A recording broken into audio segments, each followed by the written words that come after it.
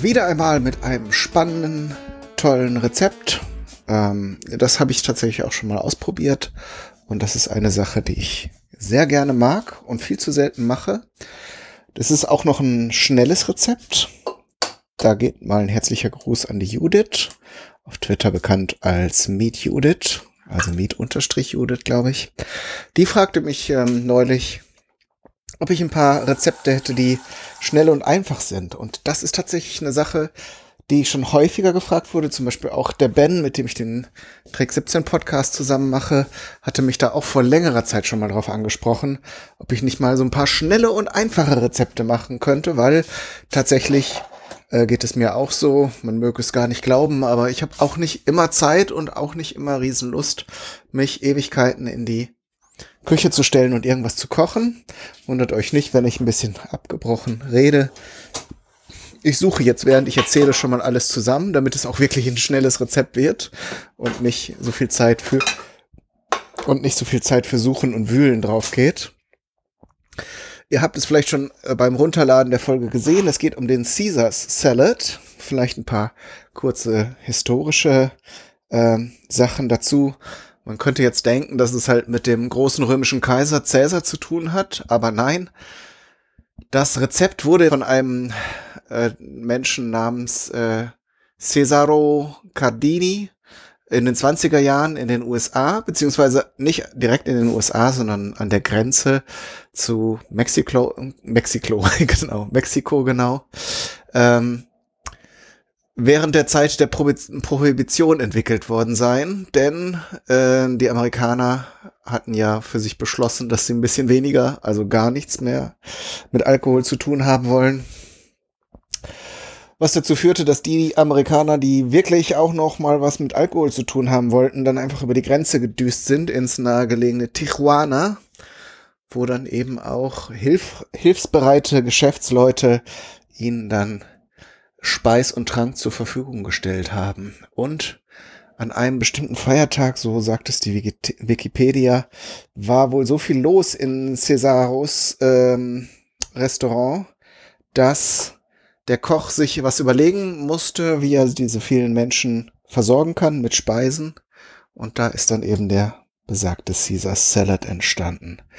Der ist ähm, recht einfach. Das Schöne ist das Dressing. Das mache ich tatsächlich selber, ist aber kein Zeitfaktor, weil ich, es ist ähm, eine Abwandlung von Mayonnaise. Und ich mache halt die Express-Mayonnaise, die habe ich ja in früheren Folgen auch schon gemacht. Das müsstet ihr, wenn ihr den Podcast hier schon länger hört, auch schon ein bisschen kennen. Das heißt, wir nehmen ein Vollei. Dann habe ich jetzt hier schon etwas Zitronensaft, äh, also von, sagen wir mal, einem Viertel Stück Zitrone dann da reingetan. Dann hacke ich hier gerade frische, frischen Knoblauch. Das sind diese Dinger, die man im Laden manchmal sieht, äh, wo dann etwas größerer Strunk dran ist, wo aber auch noch grüne Te Teile dran sind. Der andere Knoblauch ist ja getrocknet und hat dann meistens einen sehr ja, kräftigen Geschmack. Aber gerade für Salate und auch ähm, Einsatzfelder, wo der Knoblauch frisch zum Einsatz kommt, finde ich eben diesen, also eigentlich nehme ich den immer und äh, sehr häufig. Das wisst ihr auch, weil ich den Geschmack lieber mag als dem vom getrockneten Knoblauch, der etwas ähm, bitterer und etwas, äh, ja, etwas intensiver ist.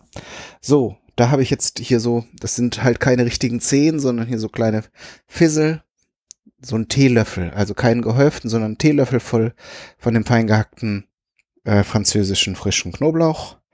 So, dann gebe ich jetzt hier ein paar Tropfen Worcestershire Soße dazu.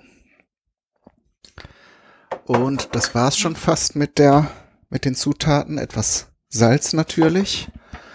Denn dann kommt jetzt nachher natürlich auch noch Öl dazu. Wir schlagen das jetzt nachher zu einer Mayonnaise auf. Beziehungsweise einer Emulsion, wenn ihr es genau nehmen oder wenn ihr es chemisch, physikalisch ausdrücken wollt. So, und dann ähm, steht im Rezept, das wird normalerweise mit Olivenöl aufgeschlagen. Das mache ich auch, aber ich mache meistens einen Teil Olivenöl und dann einen Teil neutrales Öl.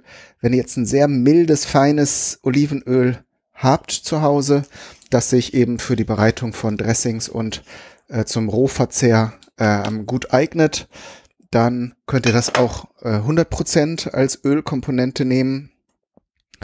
Ähm, aber das Glück habe ich nicht. Ich habe bisher noch keinen. Ich frage regelmäßig mal rum. Aber das meiste, was ich an Empfehlungen kriege, sind dann gleich wieder so große Kanister, so große Mengen Öl. Gerade Olivenöl, das wird dann ja schnell, wenn man es nicht schnell äh, aufbraucht, wieder ranzig und schmeckt dann auch nicht mehr so toll. Da habe ich also bisher noch keinen guten Tipp bekommen. Und jetzt habe ich hier so ein Bioöl, das ist so in der mittleren Preisklasse. Das äh, war so in einem, ja, ist auch in der mittleren Bewertung, war gerade irgendwie vor einiger Zeit Stiftung Warentest, äh, ein Test von Olivenölen, wo auch sehr, sehr viel Mist dabei war, leider auch teurer Mist. Man versucht ja immer dann, sich zumindest zu retten, indem man sagt, die teureren Öle oder die teureren Zutaten in dem Fall sind äh, dann sicherer. Aber in dem Fall war es so, dass nicht mal die hochpreisigen Produkte da Sicherheit boten. Aber das soll uns jetzt nicht stören. Ich habe jetzt eins, das äh, noch ähm, preislich gut, äh, wie sagt der Engländer sagt affordable, also irgendwie noch zu schaffen war, aber auch dann so, so mittelmäßig gut bewertet war. Und äh, ist aber auch ein sehr kräftiges Öl. Damit schließt sich der Kreis und ich habe es jetzt hier mit Erdnussöl gemischt. Das könnt ihr aber auch mit Sonnenblumenöl oder Rapsöl mischen, wie ihr gerade mögt. Dann ist es eben nicht so heftig, weil, ja, wie gesagt, so pur finde ich es dann ein bisschen zu viel. Gut, als Salat nehmen wir Romana-Salat. Also da gibt's ja meist in äh, allen Arten von Läden hier diese Salatherzen. Da habe ich mir jetzt auch so ein Päckchen gekauft. Jetzt hier so mitten im Winter sind die natürlich nicht so prächtig, aber das geht noch. Äh, sind natürlich noch etwas teurer. Salat ist ja eher so ein Sommer, eine Sommersache.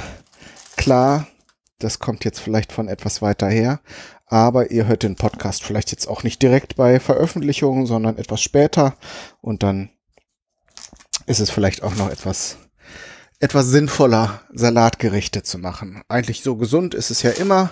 Mit der Mayonnaise muss man ja nicht zu sehr rumasen, aber äh, ihr versteht schon. So, das sind so die Hauptkomponenten der Romana-Salat und das Dressing. Weiterer wichtiger Bestandteil ähm, ist äh, Parmesan Parmesankäse, also Parmigiano Reggiano. Ähm, ich habe jetzt hier auch so einen einfachen aus dem Supermarkt, kann man natürlich auch wenn man jetzt ein italienisches Spezialitätengeschäft in der Nähe hat, auch mal zuschlagen und einen richtig guten kaufen. Das lohnt sich auf jeden Fall. Aber um jetzt hier die Zutat, die Aufgabe zu erfüllen, tut's auch eben so eine Ecke aus dem Discounter. Dann habe ich hier zum, weil es schön bunt ist und weil es gerade auch ähm, ja im Angebot war, hier so Pflücksalat. Das sieht auf dem Teller schön aus. Ähm, sind dann so unterschiedliche Salatsorten teilweise, so wie es hier aussieht, auch ähm, rote Beete, äh, Keimlinge, also mit so roten Stielen. Das sieht ganz schick aus. Das kann man natürlich dann noch beliebig ähm, ergänzen. So, was auch oft gemacht wird, was ich jetzt hier gekauft habe, sind diese kleinen kleinen Tomaten. Ihr könnt Kirsch- oder Datteltomaten, was gerade schön und äh, reif aussieht, wenn ihr es einkauft, dazu genommen. Und was auch schön ist, was wir auf jeden Fall mitnehmen, sind Crotons. Ich habe jetzt hier Brötchen, die sind jetzt frisch. Das muss eigentlich gar nicht sein. Das kann auch ein, ein altbackenes Brötchen sein. Und das kann man schon mal ein bisschen vorbereiten. Denn dann obendrauf, on top sozusagen, machen wir noch bisschen Hähnchen, also Hähnchenbrust. Jetzt hier sogar, auch weil es gerade irgendwie eine Aktion gab da in dem Laden, so äh, Filets, also diese Innenfilets vom, von der Hähnchenbrust äh, gekauft. Ähm, man kann das dann auch noch panieren, dann hat man richtig, richtig Schlemmerteller, aber wir machen jetzt einfach, wir werden die gleich Natur braten, leicht würzen Und das kann man natürlich für einen Salat immer ganz gut obendrauf tun. Wie gesagt, also es geht um schnelle Gerichte. Jetzt habe ich hier natürlich viele Spielereien. Aber diese, ähm, diese schnell, diese Express-Mayonnaise, die funktioniert eben nur, wenn alle Zutaten die gleiche Temperatur haben. Das habe ich äh, jetzt eben nicht gesagt, weil ich es schon ein paar Mal erzählt habe. Aber trotzdem, das ist wichtig. Darum habe ich das jetzt alles zusammen in den Kühlschrank gestellt, also mit allen Gewürzen und Dings und Bums ähm, kühlt das jetzt erstmal ein bisschen runter und darum kann man so ein bisschen den Salat vorbereiten und eben dann auch so ein paar Beigaben, damit es nachher auf dem Teller schön aussieht und damit auch alle Nahrungsmittelgruppen vertreten sind und alle glücklich sind. Denn ja, es gibt ja auch Menschen, die dann richtig ungehalten sind, wenn äh, kein Fleisch auf dem Teller ist. Also ich gehöre mittlerweile nicht mehr dazu. Ich bin zwar auch so ein bisschen so erzogen. Ich mag auch noch gerne Fleisch, aber ich kann durchaus mich auch mal an den Tisch setzen und ein vegetarisches Gericht essen, ohne äh, alle, alle Sinne zu verlieren oder die Beherrschung. Das kriege ich also hin. Aber es ist natürlich auch eine, bei so einem Salat ist natürlich auch schön, weil gerade so Hähnchen ist auch leicht, passt gut zu Salat. Man kann das natürlich auch zu so einem Grillgericht, ähm, also man kann, ich habe auch schon Burger gegessen, wo dieser Caesar Salad drauf war, das passt ganz gut. Ich habe, äh, das passt auch sicher gut zu einem Steak. Aber ich habe mich jetzt hier so an die klassischen Vorgaben, was ich gelesen habe, äh, gehalten. Und da waren jetzt eben so Geflügel Sachen. Oder Fisch geht natürlich auch gut. Salat und Fisch ist ja sowieso, sind sowieso schon Freunde. Die können sich da also auch ganz gut. So, reichlich Butter. Pfanne ist natürlich wieder zu klein, aber wir können ja hier in zwei Runden das Ganze braten. Eigentlich, Crotons sind immer zu wenig, habe ich auch schon mal erzählt. Oh, ich muss langsam aufpassen, dass ich jetzt nicht hier wie Alfred Biolek in so, in so Schleifen verfalle und immer dasselbe erzähle. Habe ich sicher bei manchen Themen schon oft genug gemacht, aber zumindest ist es mir noch bewusst. Ne? Also dieses, ja, ich nehme ja auch mal eine Brühe, wenn es schnell gehen muss, so eine Fertigbrühe. Ne? Und äh, Pfeffer muss ganz frisch gemahlen werden. Ne? Solche Sachen. Klar, habe ich auch. Könnt ihr mir ja gerne schreiben, wenn euch da mal was aufgefallen ist. Vielleicht ähm, bin ich schon seit ewigen Zeiten schon längst in so eine Routine verfallen und erzähle nur noch dasselbe und merke es gar nicht. Ähm, wäre doch mal witzig, wenn ihr da Beobachtungen oder wie sagt man das beim Hören, also Entdeckungen schildert äh, von Eigenheiten, die ich so über die Zeit entwickelt habe. Gut, so, die Pfanne muss heiß werden, die Butter schmilzt hier schön. Das Ganze, das Brot muss schön golden rösten. Das tut es sicher, wenn ich aufpasse auch. Sonst haben wir halt ein bisschen dunkleres Brot. Ich kann schon mal einen Teller auf den Tisch stellen. Den Parmesankäse werde ich jetzt nicht zu so Streuseln reiben, sondern ich habe hier so eine, ja, wenn man sie findet, so eine Trüffelreibe. Die eignet sich natürlich nicht nur für Trüffel, die ich natürlich sonst täglich auf dem Tisch habe. Ihr kennt das, so dieses Luxusleben, aber irgendwann kann man diese feinen Erdpilze dann auch nicht mehr sehen.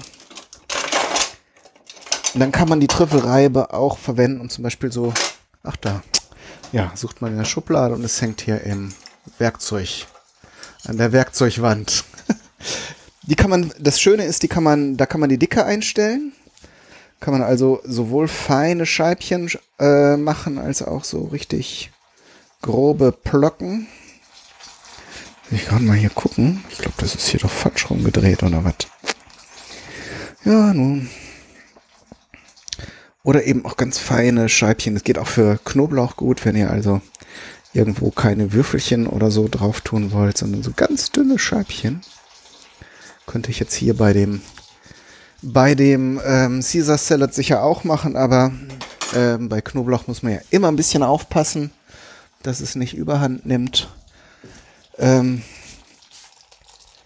an, äh, diese Crotons kann man natürlich auch in Knoblauchöl machen, aber ich wollte jetzt hier äh, nicht alles mit Knoblauch bombardieren. Das reicht mir, wenn in Dressing ordentlich Knoblauch ist und dann verteilt sich das ja eh auf dem Teller. Man isst ja dann in der Regel auch alles zusammen Da muss man jetzt nicht überall noch welchen reinschmuggeln. So, ich drehe hier mal meine Brotscheiben um. Die sind zwar noch nicht braun, aber dann kann sich die Butter gleichmäßig im Brot verteilen. So, dann kann ich hier auch schon mal diese Filets auspacken. So, ja, läuft hier. So, der Salat ist soweit vorbereitet. Da werde ich jetzt diese Salatherzen, das kann ich eigentlich, nee, das mache ich zum Schluss, wenn der so an der Luft liegt, geschnitten, dann ist das auch nicht gut. Werde ich einfach so Viertel rausschneiden. Das finde ich ganz hübsch, dann, und dann kann man das äh, Dressing da so drüber träufeln. Und dann kann man es entweder mit Messer und Gabel essen oder eben nicht. Oder mit Fingern. Also man kann dann so ein Viertel auch gut in die Hand nehmen. Das war jetzt kein Witz. Das kann man dann tatsächlich auch als Fingerfood machen. Ganz fein. Und wenn schmeckt, ne? Übrigens, um das nochmal abzuschließen, was man noch dazu essen kann. Also ähm, ich habe das auch schon ins Dressing getan, nämlich Sardellen.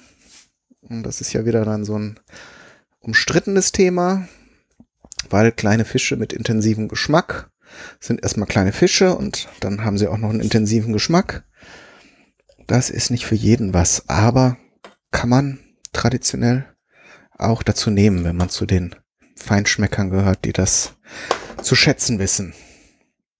Hätte ich auch da, also man, ich bin jetzt allerdings auch nicht so großer Fan, dass ich mir die so drüber lege, die Filets, aber man könnte sie fein hacken und in das Dressing reingeben, mal gucken.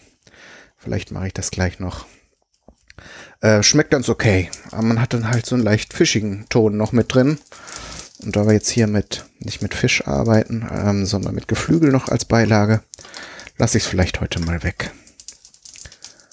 Was soll das denn immer überall alles rein? Die Einfachheit zählt ja auch manchmal. Ganz viel. So, den Herd muss ich jetzt mal hier ein bisschen kleiner machen. Butter muss jetzt nicht unbedingt bei 300 Grad erhitzt werden.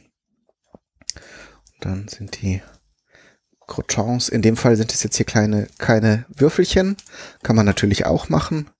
Gerade wenn man hier so eine, so ein bisschen angetrocknete Scheibe Toastbrot hat, dann kann man die ja ganz gut in Würfelchen schneiden und dann in gut was Butter so ein bisschen braun rösten.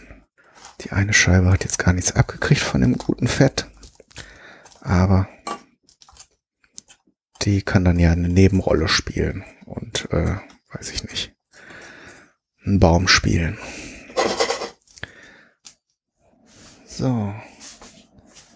Jetzt lege ich mir hier so ein Tellerchen hin. Gerade gucken.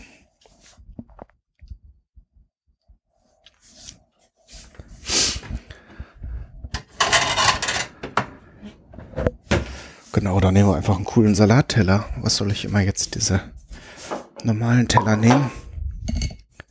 Das tut ja gar nicht Not. So. Gut. Croutons sind fertig.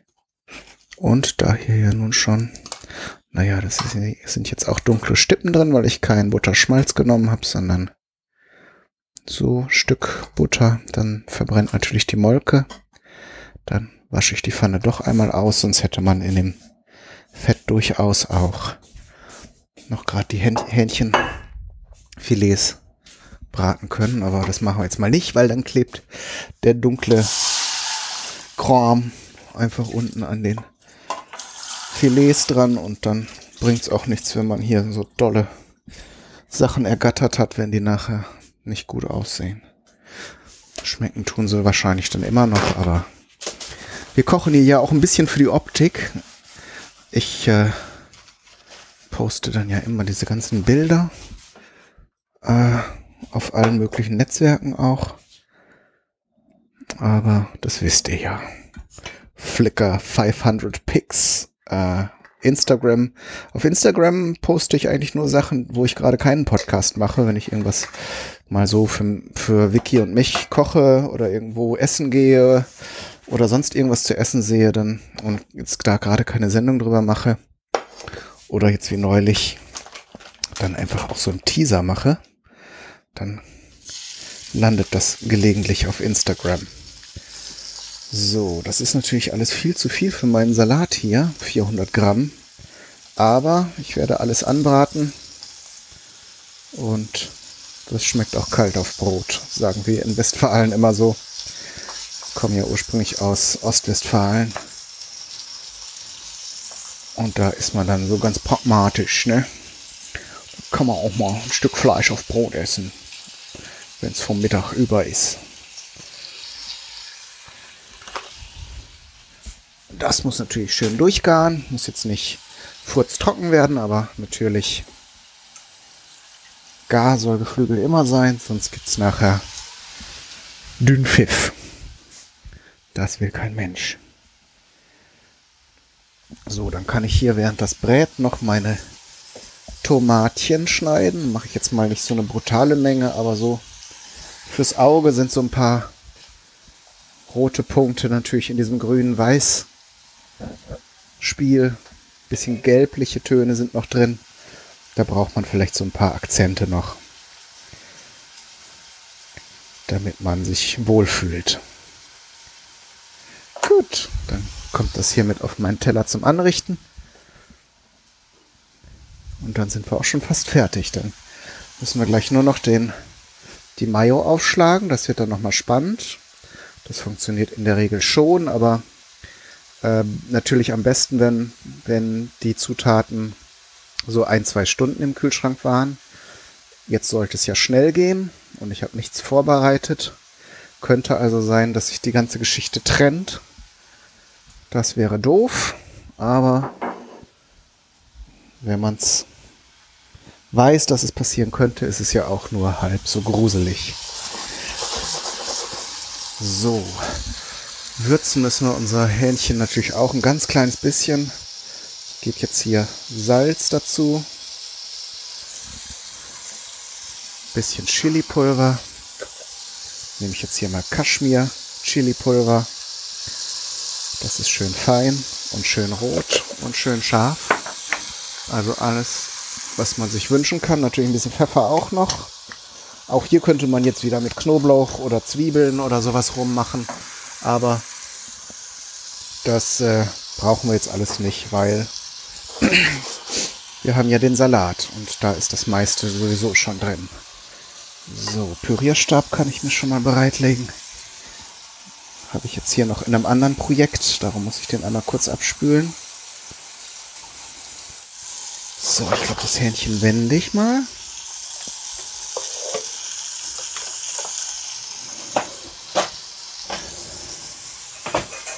mit einem Wender.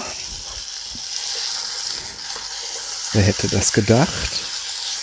Bin ja immer für eine Überraschung gut.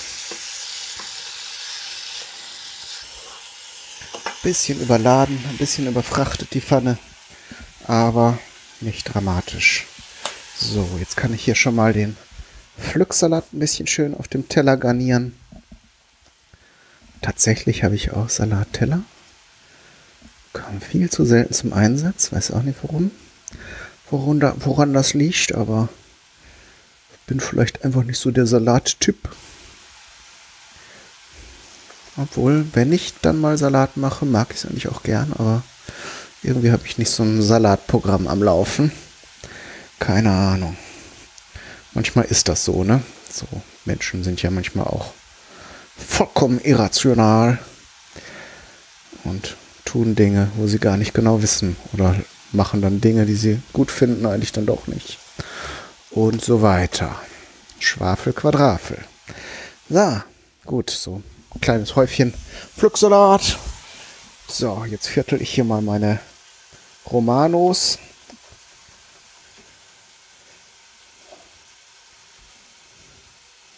Viertel sie ein Viertel.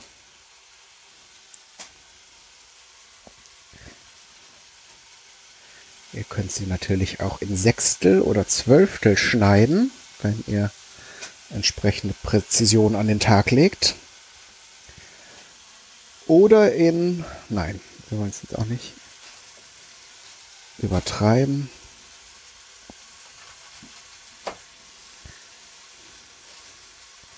So. Bisschen was von den Strünken lasse ich drin. Das kann man dann nachher beim Essen entweder übrig lassen oder entsprechend mitessen. Giftig ist das nicht, nur ein bisschen härter als der Rest vom Salat. Aber wenn ich es jetzt rausschneiden würde, dann ist es jetzt schon ein bisschen der Fall. Fallen mir hier meine kleinen Salatschiffchen auseinander. Und das ist ja doof. Dann ist die ganze Optik, geht dann flöten. So, ich glaube, ich mache hier mal nur so fünf von diesen Ecken. Rest essen wir später.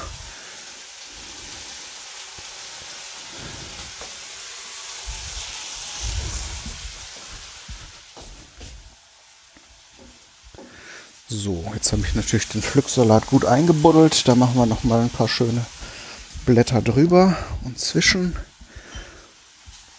damit sich das auch nachher optisch bisschen abhebt. Sonst wäre es ja nun alles umsonst gewesen. So.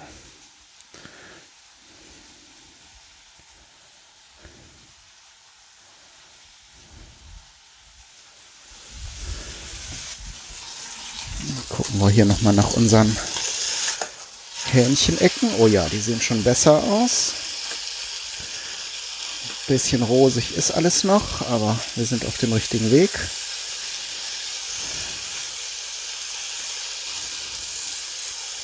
Gerade mit dem Chili. Ihr könnt natürlich, wenn ihr ein scharfes Essen nicht so mögt, auch äh, Paprikapulver nehmen. Also das süße Paprikapulver. Dann habt ihr den optischen Effekt, ein bisschen Würze und nicht dieses Brennen im Mund. So, dann bin ich jetzt mal gespannt, ob das hier mit unserer, ob das mit unserer, mit unserem Dressing hier klar geht. Ich hole mal den Becher raus. Ich habe auch nicht viel Öl zugegeben. Wollte jetzt auch keine Unmengen Mayo produzieren. Da müsste es eigentlich noch besser gehen. Und es ist auch schneller durchgekühlt.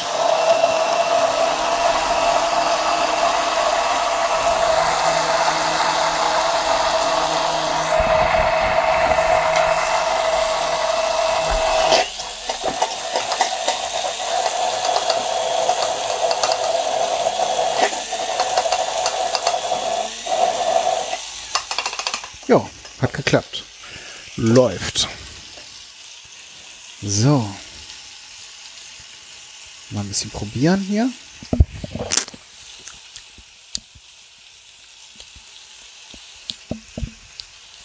Oh ja. Das gefällt mir schon. Das kann man wirklich so machen. So. Ah, das muss ich gleich nochmal richtig sauber machen. Das soll euch nicht stören. Mache ich jetzt hier nicht in der Sendung. So, dann kann ich das nämlich hier schon mal über den Salat träufeln. Während die Hähnchenfilets hier in den letzten, letzten Zügen des Garens sind. So, mal gehen sehen, ob wir hier das so elegant drüber gestrisselt kriegen. Ja, ist eine sehr dichte Mayo. Könnte man natürlich auch mit Zitronensaft und so wieder ein bisschen runter verdünnen, aber ähm, dadurch, dass ich den Salat gewaschen habe, wird sich das so im Laufe der Zeit ohnehin ein bisschen ausgleichen. So, dann tun wir hier unsere Tomatenstückchen dazu.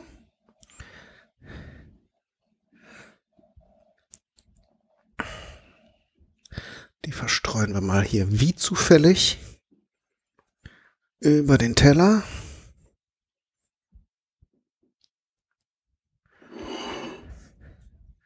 Dann kommt Herr Parmesan ins Spiel.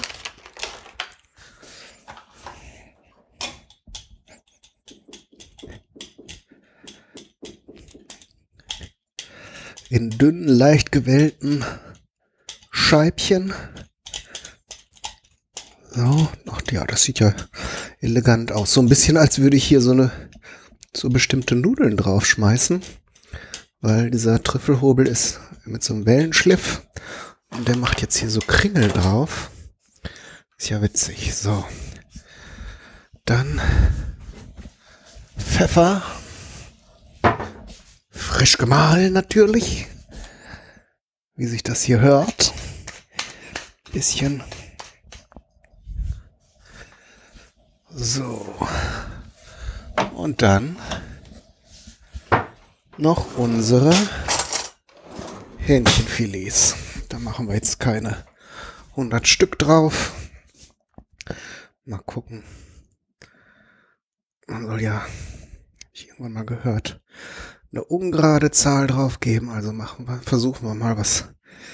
Drei hier so mit dem optischen Gesamterlebnis anstellen. So, ja, das ist gut. Das machen wir so. Gut, und dann sind wir fertig. Die Crotons lege ich jetzt nicht drauf, die stellen wir so dazu. Sonst ist der Teller einfach zu voll und man sieht gar nicht mehr, was was ist. Aber damit sind wir fertig. Mal sehen, ob ich es jetzt hier in Echtzeit veröffentliche oder eher nicht. Ähm, wenn ich jetzt hier zu große Pausen drin habe, schneide ich vielleicht mal ein paar Sekunden raus zwischendurch. Aber ihr könnt das natürlich eben ich habe jetzt natürlich alles, was geht, irgendwie draufgeknallt auf den Teller. Ihr könnt natürlich das entsprechend reduzieren. Dann ist der Caesar Salad entsprechend schneller fertig. Ja, und wie immer wünsche ich euch alles Gute, viel Spaß beim Nachmachen und Ausprobieren. Alles Gute, bis zum nächsten Mal, euer Kai, Daniel, du.